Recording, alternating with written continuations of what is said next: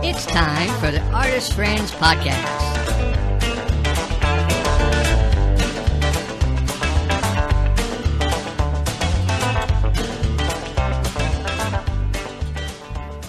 Hi, I'm Diane Hunt. I am an impressionist realist painter connecting with nature through my brush. I work in oil paint and watercolor, and I live in the countryside of Maryland's eastern shore, not far from the Chesapeake Bay. You can find me online at dianehuntstudio.com and on Facebook and Instagram at Diane Hunt Studio. Hi, I'm Constance Brosnan of Steve Brosnan's Jewelry Designs. I live in Oklahoma on a prairie and I make uh, handmade jewelry in silver, copper, and brass. I'm an artist that paints. I paint pastels and in oil sometimes. Hello, this is Clyde J. Kell. I'm the host of this podcast. I am a emerging representational artist. I do historic ren- renderings, seascapes, landscapes, botanicals, birds, and whatnot. A tight illustrative hand in watercolor, ink, and acrylic paints. And I live in Oklahoma City.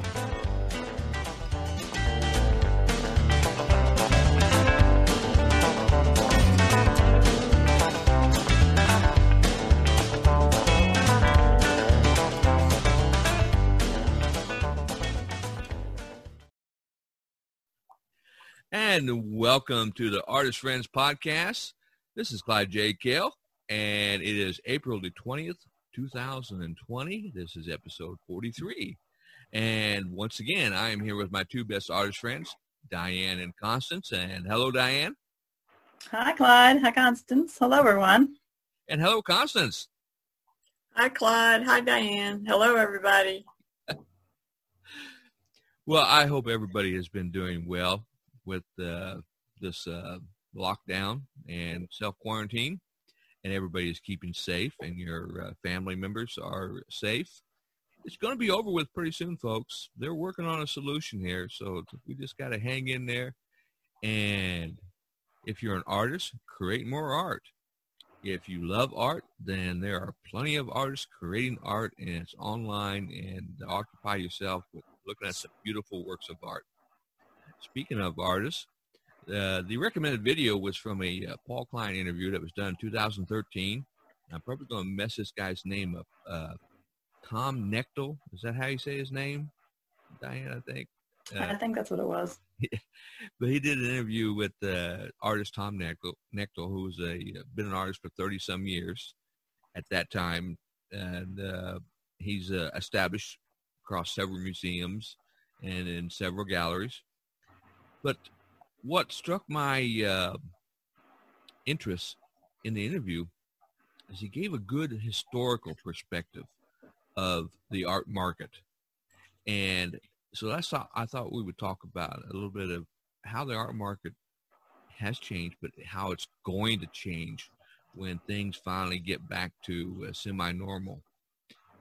And it got me thinking about all a lot of these small galleries, you know, that are are barely the you know fall, uh, on low margins and just barely getting by. And the internet comes along, and these are like nails in their coffin. And now this has come along. I think they're pretty much going to disappear. And uh, Diane, you want to add your thoughts to that? Or? Well, I think it's going to be really hard. I mean, it's going to be hard for all, especially small businesses right now um, that have that aren't essential that have had to close just kind of overnight, and you know they didn't really have any time to prepare for something. I mean, who would who would have thought it'd be like this now? You know, it's it's not Yeah. something you would think that uh, in advance to prepare for.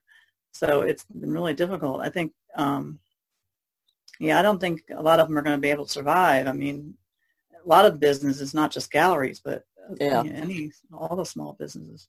Yeah. It's, gonna be really hard because small businesses generally run on a very kind of tight budget unless they do, you know, especially if they've just started, you know, to because businesses run a tight budget to begin with. The margins are kind of low to start with, you know, and then they take off after a year or two. Um, but yeah, it's a whole new ball game, I think, out there for it's just going to be different.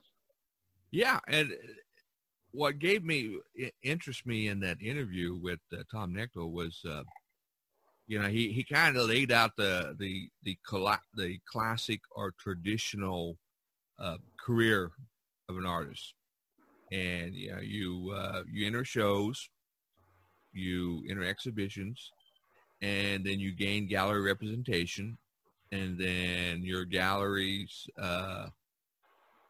Put on shows and solo shows or group shows and and whatnot. And this is how you know your your career advances. And it's based on primarily uh, very strong networking. You go to the openings, you go to the shows, you meet the dealers, you meet the collectors, handshakes, and you know face-to-face meetings. They get to know you, and everything. Uh, that's all gone it's going to be gone. Yeah. Mhm. and we've been here at the Artist Friends Podcast. Our main focus is is getting the artists on the internet, utilizing modern technology to get their art out there, and that's been our our primary focus. And and uh, for a lot of those galleries that uh, you know, especially small ones that didn't even have an internet presence at all, that were resisting it. Scramble. I, I, I, I kind of feel sorry for him in a way. but then on the other hand, I don't because they've been told, you know. I mean, Yeah, it's it's going to be hard because it's so much to learn. Like just trying to navigate all the technology and um, you know what what to do and what not to do, and technology wise. Yeah, and then which So which that- place to go to sell through is better than another place, and Yeah, but I mean, basically, you're doing the same thing. You're just doing it online, but you have to have all the technology set up, and you know, trying to navigate all that's going to be really hard. for Absolutely. somebody and I, we know that takes time. I mean, you sit at the Yeah. computer and you've got to sit there and work all that out for yourself, get things set up, set up stores and set up. yeah, you got to develop your workflow, you know, and dedicate and dedicate the time. And I mean, that's something that's been the main focus of our Artist Friends podcast is, uh, Yeah, I I was looking so forward to to May because in May last year I had shows back to back every weekend, and this year nothing. So it made me glad that I had the Etsy store and I have you know doing Faso. Although I need to do a lot more work on Faso, but um, you know, and then daily paintworks and stuff. So I feel like I had a, a jump on it. That's you know a good jump on it. I don't have gallery representation, so you know when you don't, then you you work at doing the other stuff a lot harder. Well, that's a good segue to my to my next point. That uh, there's a big push. Artists artists are waking up. Galleries are waking up, and I'm seeing all kinds of uh, videos where they're talking about and and they're uh, giving studio tours and gallery tours and and whatnot. And you know, it's wow. There's you know potential thousands of viewers. You know, and but if you are not already have not already been doing this, been on the internet, been participating uh, and and social media and whatnot, and have been doing that for at least a year or two years or more, you're not. It's going to take you that long, right, Diane? We were just talking before we. Before Yeah, started. yeah. I mean, the learning curve. If you haven't been keeping up with all this stuff, the learning curve is really high, and um, trying to figure out what platforms to be on and which not, you know, what ones not to be on, and which ones are a waste of time, and you know, and it takes if you have a- yeah, uh, if you have an inventory, then you've got to figure out how to get your inventory up online too. So it's yeah, just a- you have to learn all the um, technical part of it. Just you know, doing manipulating your images and making them look good online is you know you cannot can't just hang a painting on the wall and be done with it you got to Yeah, take it to the the- local to the local uh, gallery, the gallery that you sell from, and just put it up on, and have them put it up on the wall and sell it for you. That's just different. I remember about a year ago, maybe a little bit longer than that, I had an artist contact me and uh, she wanted to actually talked to me on the phone, which I rarely don't do, but I went ahead and gave her my number and we talked on the phone and she was interested in uh, Fine Art America. And, uh, you know, was asking the ins and outs about it. Got to, you know, that's a platform, one of the platforms I'm, I'm on. And then she asked the question, so how much money have you made? And like I said, it's about a year ago. I said, oh, I think about thirty dollars. well, that's not very much. Said, well, you got to understand what the purpose is. What do you mean? The purpose is getting my art. My main focus is getting my art out onto the internet and out in front of people and developing a presence. The sales will come later on, but you have to take your baby steps. You have to start out first and get the press and build up, you know, and, uh, you know, she, she just, it was, I could just hear in her voice. She did not understand that. She did not think it was worth her time and investment, you know, and Well, that's the thing, though. It does take a lot of time, and I mean, you, you have to, you know, get your picture, the the photos of your work have to be really good. You have to write descriptions. You have to figure out your pricing and your shipping and all that stuff. You know, you have to get all that into whatever site you go on, and it all takes a lot of time, an enormous amount of time. I mean, you end up spending, you know, at least half your time doing all the all that part of it Yeah, and half painting or you know doing your creating your art you have to spend a lot of time doing all the the um, yes, internet stuff yeah, when it's I time I consuming. decided to launch my art career, I immediately started researching, you know, different platforms and, and I watched some, you know, YouTube videos and how to utilize platforms. And so I ended up getting, I've got my art on about seven different platforms. Since then, there's been literally millions of people that have seen, I've got stats that have seen my artwork. Now, I put all that in place. And then this last year, I started investigating entering art, international art shows and entering international exhibits. And how I got into got accepted into those exhibits was my internet presence because they they wanted to see my website. They wanted to uh, see my social media links. So they went back and they looked to see, you know, uh, what what I had been doing. If I was serious, if I just you know, when a guy draws something once in a while, paint something, you know, if I and but it it took that first step to get to the second step, you know, and from that I had hopes. but I don't know now, you know, with how the art market's going to change. I had hoped to get into some gallery representation. You know, that was my next goal for 2020. We'll see. yeah and that whole environment's changed now i mean people don't we don't know how long this is going to go on for one thing so you don't know you know so many shows and, and um, things have been canceled and some they've tried to reschedule but you know they, they don't know if they're going to have to change it again and trying to fit all the you know stuff in so they might just have to cancel things altogether with you know with all this going on but um, it really makes it hard as far as trying to uh, figure out what to do next. Like there's Yeah. no, I mean, there's there's still the online competitions and things are going on, shows that are online do you know going on, but you know what we don't. Everything's up in the air right now. We don't know what's going to Yeah. happen after this all clears up. If things, Exactly. I just a few before we started the show, I uh, watched a sh- one of uh, Sergio Gomez's short videos, and he was interviewing an art dealer, and I wished that I had seen it before. I would have re- recommended it so you guys could uh, watch it. But the fellow brought up some some ideas. Sergio asked him, said, well, "What about like you know Art Basel and the large art fairs? You know, are are they going to continue?" And this individual uh, recommended. He said they probably will, but not have the large crowds that they've had in the past, and it will be sort of uh, segmented. You know, And his attitude now, he said, this is a f- excellent opportunity for uh, the smaller galleries who couldn't go, who couldn't participate in art basels or in the art fairs because of the high cost, the high cost of entry fees. This is an excellent opportunity for them to step up and and uh, get their art and get their shows and their artists that they represent out onto the internet and before before collectors. He said he see he predicts that the art market is going to uh, really uh, narrow narrow down.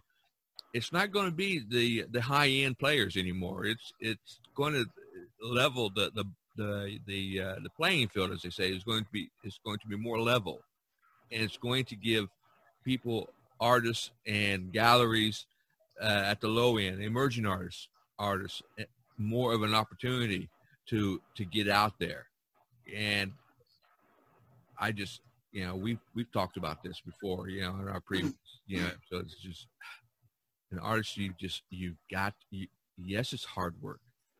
Yes it takes time but you have to do it. If you are pursuing a serious art career you must do it. You must you know figure out ways to, to get yourself out on the on the internet. You know and it's there's there's no two ways about it now. It's now critical. It's no longer an option. It is an it's an absolute necessity now. Yeah, I mean we've seen over the last month or so that how how buying um, has changed. You know, more people are buying stuff online. Less people are going to the stores. A lot of times they can't right now. Everything's so limited. Mhm. But um, I think a lot of the stores, even re- just regular stores, are going to disappear, and things are all going to you know move more and more onto online. So it's going to be a different way of shopping for people. They're going to be more willing to buy stuff, um, higher price things maybe online,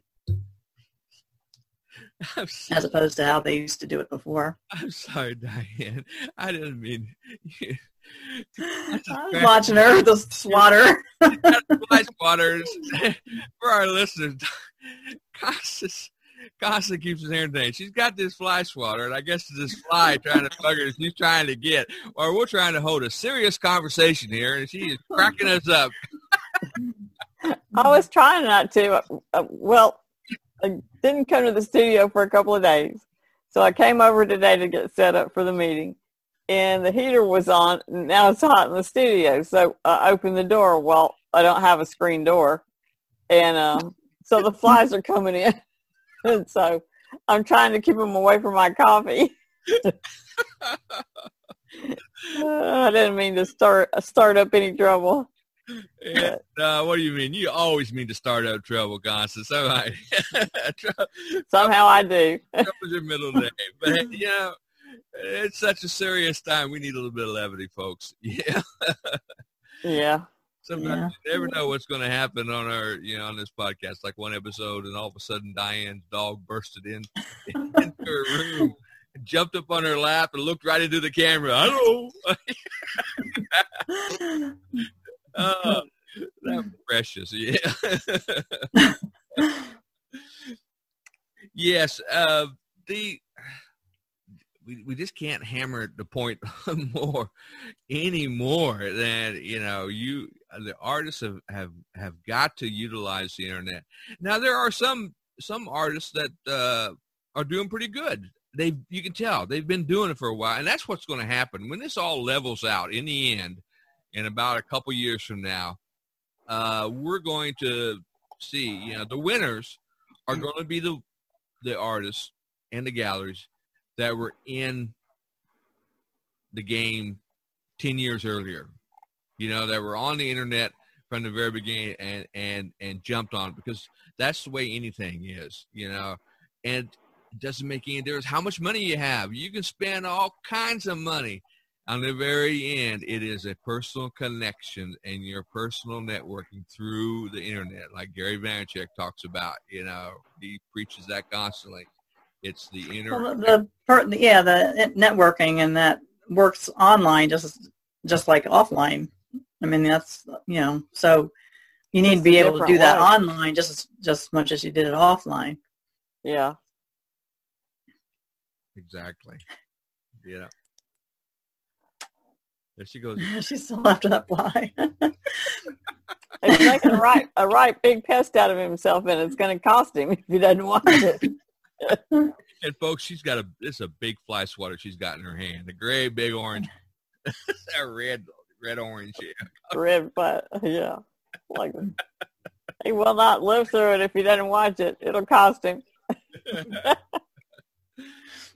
Okay, one of the other videos I thought was rather interesting. I recommend it was uh, those uh, five uh, female artists, and that uh, you know we're we're talking about uh, uh, how this uh, virus is affected. In fact, I think that one she almost came to tears as she watched her uh, you know business you know disappear. What what you what did you two think about that? You know, they were all rather young you know, young women, and as a typical you know the younger girls get on on the internet you know they they spend more time trying to look pretty than they actually trying to say anything smart but okay i'm sorry i said that anyway, but it's just what i see yeah Yeah, they sounded well. One of them especially sounded uh, very frustrated at, at what's going on right now, and that is a very valid frustration. I mean, it's kind of hard to when you're used to having your money. It takes you so long to get your money coming in from all different directions and get yourself worked out where you're doing okay, and then something like this comes along and just blows you right out of the water, and you've got to figure out how to do it all over again, which is what I've been doing since I moved here because I got blown. I blew myself out of the water when I moved to Oklahoma, away from the tourist area where I was selling everything. So I've been for four or five years now trying to figure out how to make it work on the internet. So those people that already have a good following of people will probably transition to the internet really well. But when you're first starting out and you start doing the internet thing, you've got all the different things that you need to establish and and you've got to learn all those apps you know apps and and uh, things that you tools that you use to make things work for you. And um so it's um Yep. it's a, there's a learning curve there's a time curve uh, it's just all of it you know There's which takes away from what you like to do which is painting. Yeah and there's a tremendous amount of resources out there available. Yeah. But let me warn, for there is not one. I don't care who he is. I don't care how experienced. I don't care how much of an expert. There is not one person who has the one size fits all solution. Don't No. get uh, swallowed or don't don't put all your money in the, the you know hit your hit your uh, you know your your train or your car to that train as they say you know uh, there are several several solutions and you as an individual artist you have to decide what works best for you. Yeah. Maybe multiple multiple. And that takes time you know a little bit of time. time yes. Patience.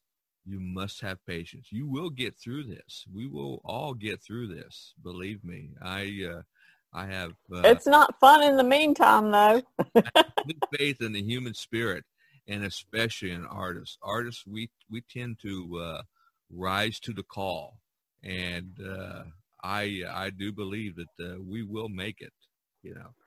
You want to add Well, the best the best thing about being artists is that we are problem solvers, and right now there's all these problems that need to be solved, and we're pretty adaptable as far as being able to um, change, you know, our direction and change um, what we're used to doing. I think we're uh, we have more adaptation qualities than a lot of people do. Um, I think it's um, that's one of the reasons that people are looking up to artists right now. I mean, they're spending an aw- awful lot of time online, you know, looking at other, looking at artists and musicians and all the people in the arts because we are um, very adaptable and we can make things out of nothing. So, it's, Yeah. you know, we, we're like the hope for other people. So that's kind of a cool thing. we're we're like magicians you know we're wizards we we, we can just with our hands make magic well i've got gandalf's hat hair anyway don't i okay.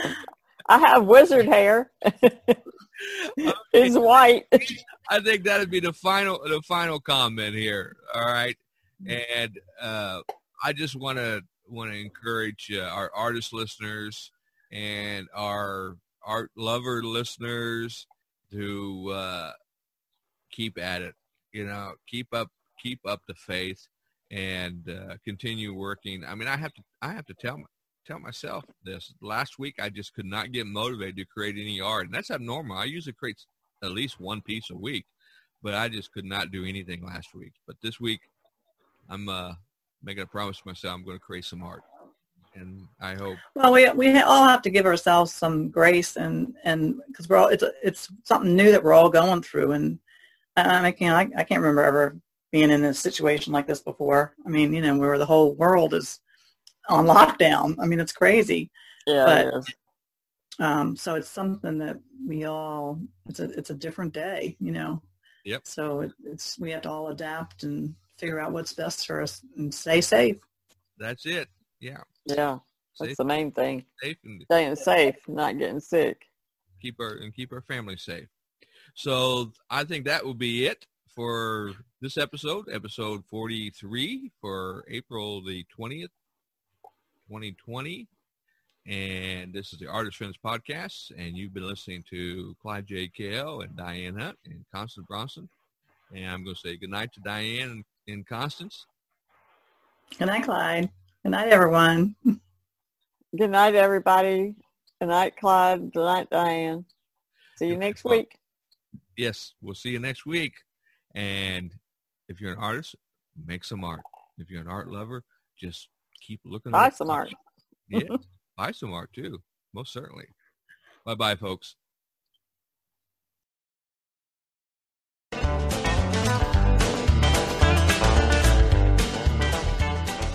The Artist Friends podcast is produced and edited by Clyde J. Kell.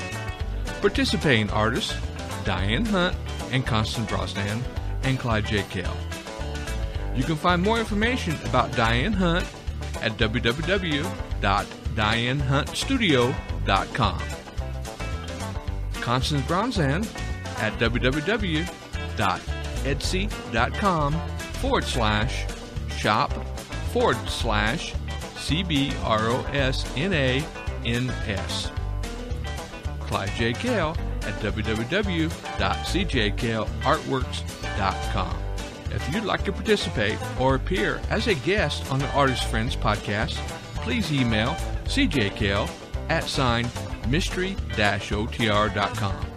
That's cjkale at sign mystery-otr.com. This podcast is issued under the Creative Commons license. Thank you for listening.